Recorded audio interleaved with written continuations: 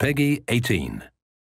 Здорово, ёпта! Распродажи! Юху! Пора доставать кошельки и бежать в Steam. Да, я уже потихоньку ввожу эту рубрику на постоянную основу, поэтому осеннюю распродажу я решил не пропускать, а посему предлагаю взглянуть вам на свой... Свой, блядь, какой свой? На мой кошелек рекомендаций с игрушками на ПК. И да, сейчас за 500 рублей найти что-то уже сложно, поэтому я увеличил лимит. Мразь. И теперь разброс цен будет от примерно 500 рублей до 1000. Но я стараюсь не повторяться, с каждым видео список игр меняется. Поэтому в описании я оставлю ссылочку на плейлист, в котором вы найдете видео с предыдущими рекомендациями игр до 500 рублей. Все, что там есть, по-прежнему актуально, так что игр вы сможете купить гораздо больше, чем будет в этом видео. Я разделю все видео на три части. В первой я расскажу об играх, которые рекомендую к покупке. Во второй об играх, которые я рекомендую рекомендую к покупке, но подойдут они не всем по разным причинам. А в третьей я расскажу об уже упомянутых в других видео играх, но с некоторыми корректировками. Всего получится 15 игр и только 2-3 из них будут стоить больше 1000. Ну короче, как раз примерно 10 игр до 1000 рублей получается все. И сразу говорю, не надо писать в комментариях, бо-бо-бо, почему ты вот эту игру не упомянул, а зачем ты вот эту игру вставил. Это мой список, прошу заметить не топ, а именно список, поэтому создавайте свои каналы и делайте там свои рекомендации. Но можете оставить комментарий с играми, которые рекомендуете вы под этим видео и желательно с кратким описанием. Вот, вот это будет хорошо. И на телегу подпишись, братик. Я там уже в 2 часа ночи бил в колокол, что распродажа началась,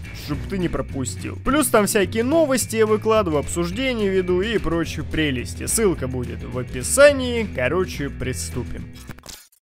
Итак, первая пятерка в студию. Что можно купить от 500 до 1000 рублев? Снайпер Ghost Warrior Contracts 2. Блять, что за название пошли? 669 рублей. Тут нужно понимать, что эта игра не AAA продукт, не эпичный боевик, название говорит само за себя. Вы в роли снайпера выполняете контракты, но со своей задачей игра справляется прекрасно. Перед заданием вы выбираете подходящее снаряжение, можете его слегка модифицировать и отправляетесь мочить получить цели. В Sniper Ghost Warrior Contracts 2 есть дополнительные гаджеты, которые вы можете использовать. Стелс и всякие побочные задания. Одно время я подсел на эту игру, потому что она стала для меня методом расслабления. Я заебался играть во все эти Call of Duty, Battlefield, где постоянно бомбишь и портишь себе нервы. Contracts 2 это чистый чил. Рекомендую тем, кто играя хочет отдохнуть. The Outer Worlds 659 рублей. The Outer Worlds это ролевая игра, которая лично мне напомнила Fallout Fallout. И надо сказать, что это очень добротная ролевая игра. По сюжету вы очухались от долгого сна в ебенях галактики и попадаете на планету Альцион. А дальше все по законам жанра. В колонии господствует такой капиталистический режим, и от ваших действий зависит, куда двинется сюжет. Решения в игре действительно влияют на прохождение самой игры, на отношение других персонажей к вам и вот это все. Отдельно отмечу очень хороший такой сатирический юмор на нынешнее общество. В общем, как я и сказал, The Outer Worlds Worlds это хорошая РПГ. Любители жанра, скорее всего, уже давно поиграли, а вот тем, кто пропустил, сие творение рекомендую. Gears 5, 181 рубль. 181 рубль! Да, это даже меньше, чем 500 получается. Gears 5 вышла в 2019 году. Это чистая смесь мясного Дума и Dead Space. Ну, вот это чисто мои впечатления. Офигенный боевик, перестрелки в игре вообще отпад с классным сюжетом. Но самое главное, компанию можно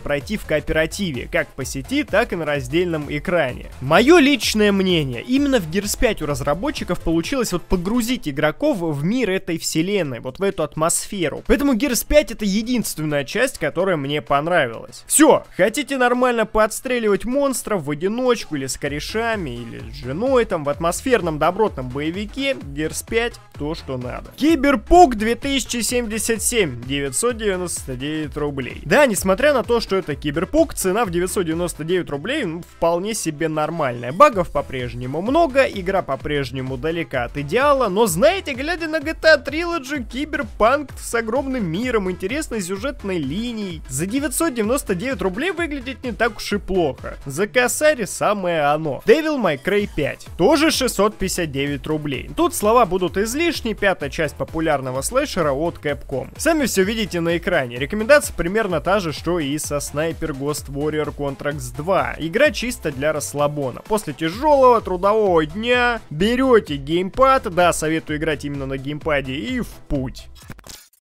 Теперь об играх, которые не для всех. Sims 4. Весь набор можно купить за 40 тысяч. Ебать. Red Dead Redemption 2. 1249 рублей. Ну, как вы понимаете, дело в цене. Она немного выбивается из установленного лимита. Я сомневаюсь, что остались люди, которые не играли в RDR 2, но если вы вдруг не играли, может вы с другой планеты, я не знаю, то не пропустите скидка 50%. На Ultimate Edition скидка 60%, цена 1599. Тут выбираете сами. Death Stranding 1049 рублей. Ситуация та же. Изначально игра стоила 3499 рублей, но сейчас со скидкой в 70% Death Stranding можно урвать за 1049 рублей. Это вообще от души. Если не хотели пропустить, но пропустили, то наверстать самое время. Deathloop 1249 рублей. Deathloop вышла тоже не так давно, 21 сентября, и уже продается со скидкой 50%. Мы играем за киллера, который застрял во временной петле, чтобы из нее вырваться, нужно устранить 8 целей. Методом проб и ошибок, попытка за попыткой. Но PvP, как по мне, говно, так что советую только для одиночного прохождения. Хотя, возможно, вам и PvP зайдет. Half-Life Alex, 542 рубля. Ну, тут, я думаю, понятно, почему эта игра не для всех. Нужен VR. Я честно скажу, сам не играл, но посмотрел кучу обзоров и прохождений. И именно Half-Life Alex заставила меня задуматься о покупке VR-шлема. Думаю, никто спорить не будет, что это, наверное, самая лучшая игра для VR. У кого есть э, VR-каска, завидую. Такая игра за 542 рубля, это, конечно, мое почтение. Патрициан 3. Вы спросите, что за хуйня? Я не знаю, чуваки, но это игра моего детства. Я имею в виду первые две части. В третью я уже играл в более-менее сознательном возрасте. В стиме вроде есть и четвертая, но я рекомендую именно третью за 149 рублей. Это торговый экономический, ну не то чтобы симулятор, ну пусть будет симулятор. Хотя, наверное, это торгово-экономическая стратегия. Вы начинаете мелким торговцем, который перевозит товары. А что делать дальше, решайте сами. Перевозите товары товары, торгуйте, развивайте свой флот или город. На рынок товаров можно воздействовать, создавая искусственный дефицит. На корабль могут напасть пираты. Короче, в свое время эта игра произвела на меня огромное впечатление. Именно экономической системой. Кому интересно, попробуйте на досуге. Я уверен, многим зайдет, даже несмотря на говенную графику. В конце концов, всегда можно сделать рефанд. Ну и Мафию Трилдж, конечно, не забудьте. 1499 рублей. Тут вам и Мафия 2, и Мафия 3, и классические версии обеих частей, и ремастеры, да еще и со всеми дополнениями, да еще и ремейк, и все это за 1499 рублей, ну тут грех не купить. А за 82 рубля еще и оригинал первой части в корзину кладем, и вообще полная коллекция получается. К выходу Мафия 4 готовы.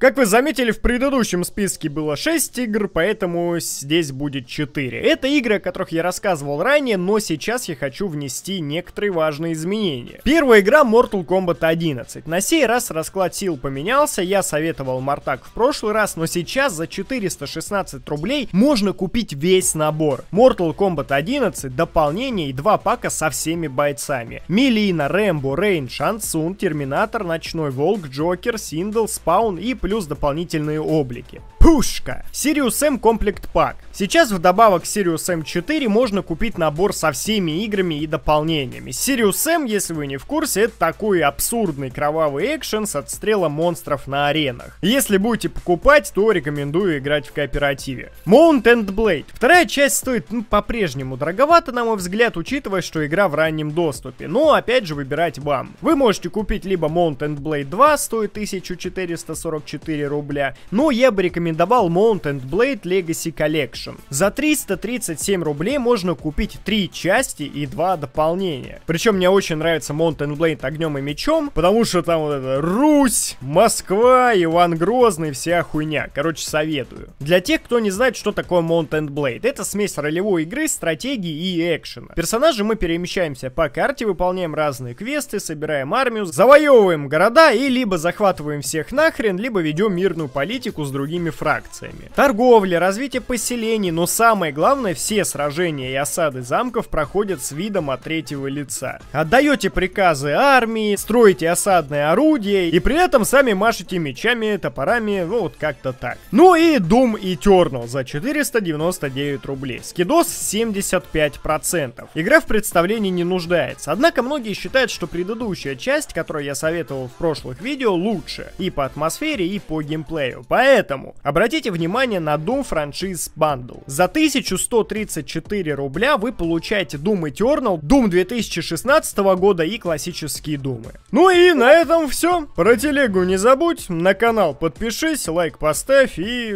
и... и все.